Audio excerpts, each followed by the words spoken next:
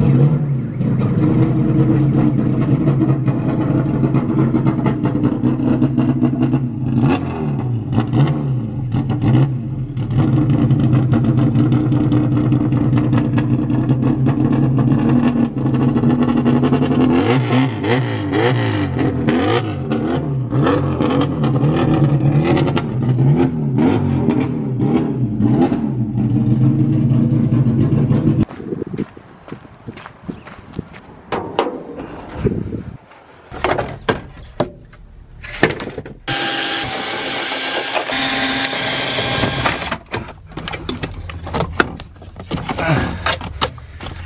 Fucker.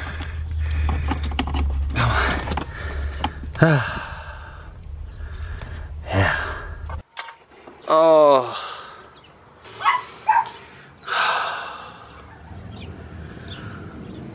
Dude. This thing was in perfect freaking condition. And the dog chewed it up.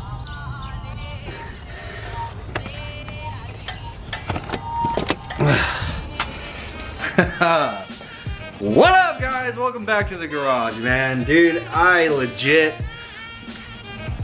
I've been telling myself to go out there and get that, that speed cable off of the hatch because if you look at the one that's on the sedan, where's it at? Oh, here it is. Yeah, that's the reason why. And dude, this thing, it looks like this has been like this for a really long time. It's all rusted to shit, but anyhow, I've always planned on going and grabbing that one off of the parts hatch and just kind of crossing my fingers that they're the same. Uh, it definitely wasn't like that originally, man. God, that dog, bro, freaking pisses me off. And I went through the hell of getting this thing out of the back of the gauge cluster before I even realized it too.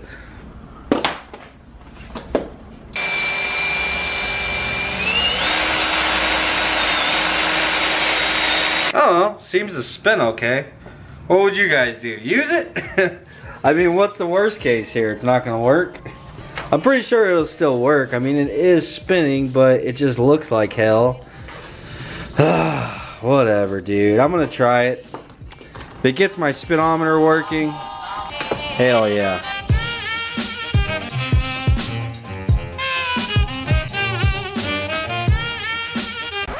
Hold up. Guess what? They're fucking different. One of the things that I think has always been really cool about Hondas is the fact that they're like Legos, bro. Like you can use like, you know, between B series engines, swapping heads around with different blocks and different transmissions. Uh, same with like D series and, but dude, some of the freaking differences that I'm running into here lately just blow my mind, bro. It's like, why is that even different? Why is the speed cable for a 1991 Honda Civic sedan different from a 1991 Honda Civic freaking hatchback, bro? You know what I'm saying? Like, they're the exact same car. Like, the back proportions and everything are different, but, ugh. I've also learned with these corner lights, like, uh, obviously CRX, hatch, and sedan, the corner lights are all different. They all have different shapes, but they're also all different from 88, 89 to 90, 91. So just right there from CRX 88, 89, 90, 91, hatch same years, sedan same years. Dude, there's six different freaking corner lights. And then to add to the confusion, USDM and JDM and EDM are all freaking different as well. So like there is just, there's like 152 different corner lights for a 1988 to 1991 fucking Honda Civic, bro.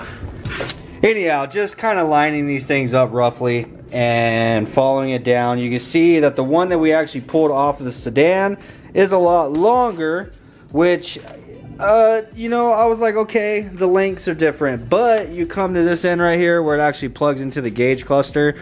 Now, I don't know if this is a difference between focus. Now, I don't know if this is a difference between automatic and manual, but you see the one that came from the hatch has that stud in the center, and then the one that came from the sedan doesn't. So I'd imagine the actual gauge cluster on the sedan has this piece, has that little stud right there built into it. I don't know, dude. Whatever. Whatever. Over it.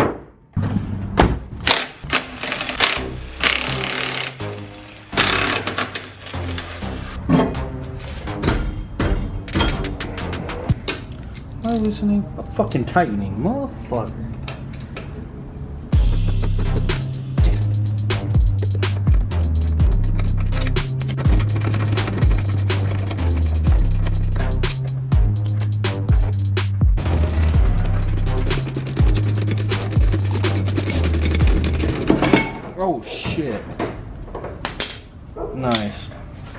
These NSX calipers, to get them to fit, you have to actually mount them upside down. Because if you don't, it has this little like, if you look at the caliper itself, this mass that's on the back right here, it kind of favors to one side or the other. Uh, if you mount this right side up, this piece right here actually hits down here. And yeah, long story short, you have to mount them upside down. So with them upside down, the bleeder is on the bottom. Yeah, it's on the bottom.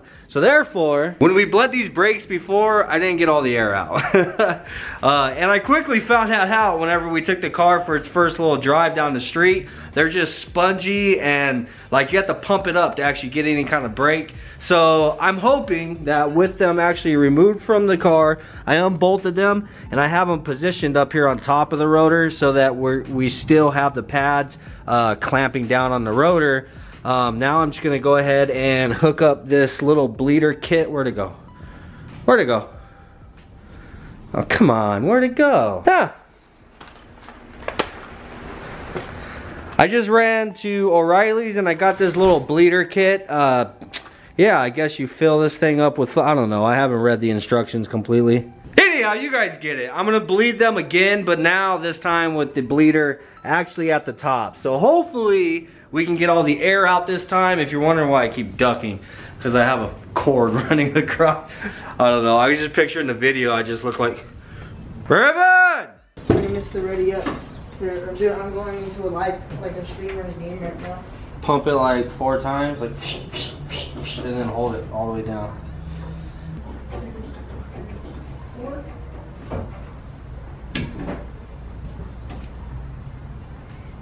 Again. Dude, I'm about to lose my shit, man. I swear to God, I'm about ready to lose my shit. So, my son and I were working on the brakes, and then I noticed this. All those puddles right there, that is all brake fluid. That is just leaking off of various spots on the subframe. I mean, brake fluid eats up paint, but honestly, the subframe paint getting eaten up is the least of my freaking worries. I honestly don't give a shit. What I care about is the fact that my proportioning valve is leaking. Uh, and whenever I had him pump the brakes, it's leaking out of this little weep hole that's right there on the front, right there, that little black circle. So, not knowing at all what in the hell that thing that's leaking brake fluid is, um, I started researching it. I looked it up and come to find out that that's kind of like a water pump. You know how the water pump starts to leak whenever it's going bad? Same damn thing with your proportioning valve, bro. That thing starts to leak whenever the seal inside is starting to go bad. So, um, like, and it's not just a, it's not just a small little leak, bro. You guys saw those fucking puddles on the ground. It's, it's leaking pretty bad. And that's the first that I've seen it. So it it must be progressively getting worse, I'd imagine. So I need a new 4040 prop valve. Oh my god, dude.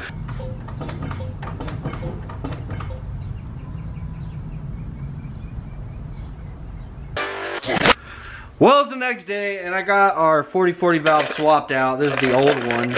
Pile of freaking parts in there. And I got a new one on the car, thankfully. It was quite a setback, dude. Took me the rest of the night.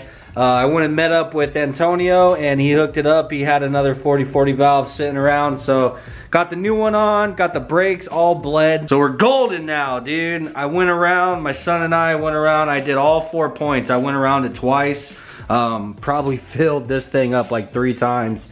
I, I need to top it off now. Got all the air out of the system, I hope. I really hope. Uh, I got the calipers mounted back up in the rear. I swept and mopped my garage because there's literally brake fluid all over the place. But uh, you could pump the living shit out of the brakes and nothing is dripping now, which is most certainly a good sign, you know what I'm saying? So finally now we can move on, dude. Need to do the pins on the back. I've got a bunch of these little push lock things. So what we're gonna end up doing is putting one on each side and they're gonna be actually on the window right here. Just drill a hole in the Lexan. Because if you look inside of here, that's where the shock bolts up at the bottom. So we have a place to actually bolt up like a little bracket to put the pin. And same on the other side. So now I just gotta fabricate something to go right there to hold our pin and then I could drill the holes and put these little push locks right there so I've been working on this for a couple of hours now and I've come up with a couple different brackets that unfortunately just didn't work out. First thing is that little license plate bracket. Uh, I got it all cut out, rounded the edges and bent it so that it's like an L shape and got this thing screwed in here. But the problem with this is that it just isn't stiff enough, you know what I mean? Whenever you get it bolted down, it flexes like that. So that's no bueno. And the next thing I was working on were these things. And I was actually kind of proud of these, man. They're coming out to look kind of cool. But the problem with these, just kind of hold it up here. There's a hole in the backside for mounting it right here. And the problem that I ended up running into with this is whenever you tighten it down, it just, it wasn't sitting correctly, like the angle of it. And so I tried to kind of bend it to make it sit correctly. And long story short, these were not working out. Uh, it's kind of funny what it is I made these things out of.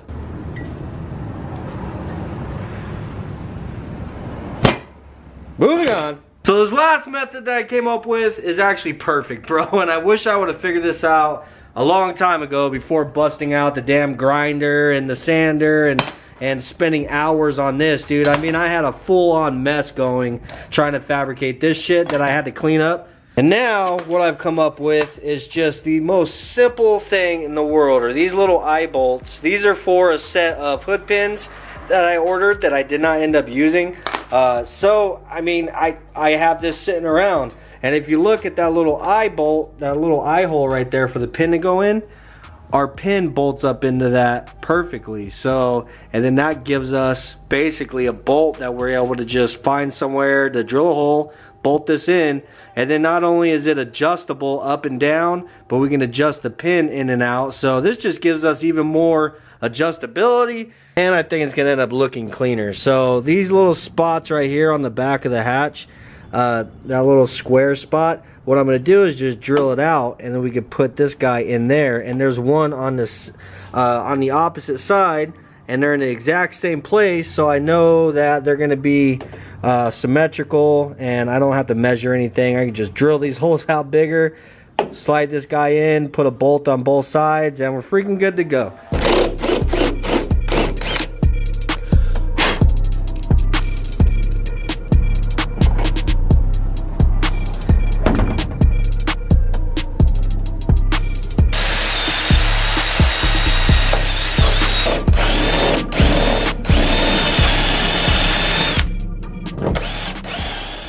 Alright, so I got the latches finished and I'm to show you guys what it is I had to go through to actually get these to work. So there was a lot of adjusting. Up, down, up, down, and then this, in and out, trying to get it correct to where it actually lands on that nice and centered. Uh, I ended up having to bend this upwards so that it'll work. So not only did I have to bend the pins, but this side over here, the actual latch, I had to grind it down, that little lip, and just kind of make like a like a ramp for it to actually push this up into it. But it works out pretty good, man. Now there's two ways to do this. You can set it down gently and then just kind of push it. Push, push. And it holds it nice and tight, doesn't go anywhere. Open it, you push your buttons and then it opens up. Or you can just do this, drop it, and it latches in. So Hell yeah, I'm not complaining.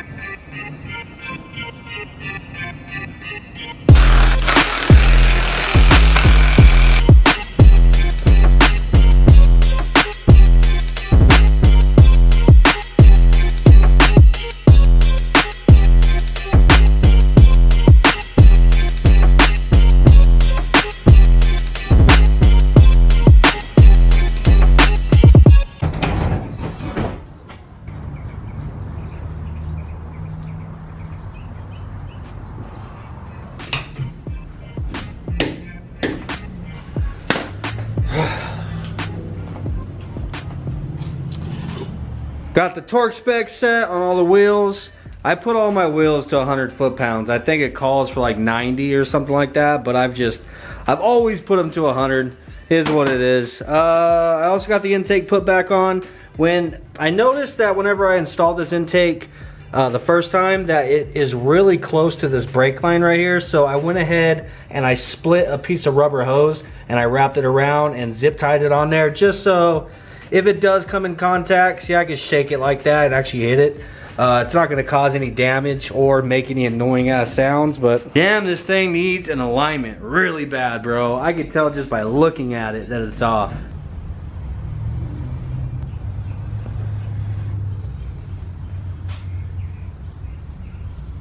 And that's the only thing we got left on our list, bro. Then the whole thing is done, other than getting the car tuned, of course. So, we're so damn close, man. We're that freaking close.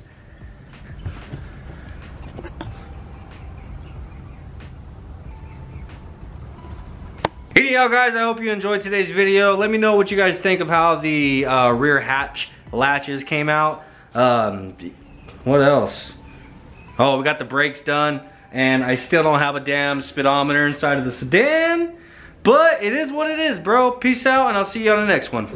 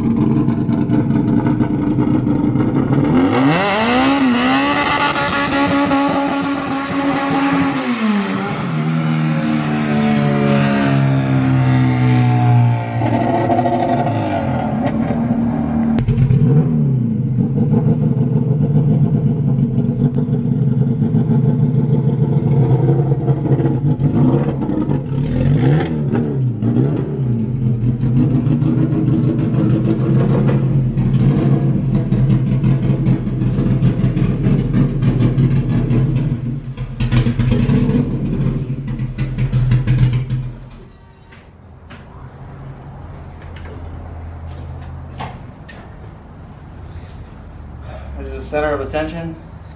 Definitely. I literally think the entire neighborhood's outside right now. Yeah, it's just in the looks. Are dogging me? yeah. Oh, fuck my neighbors.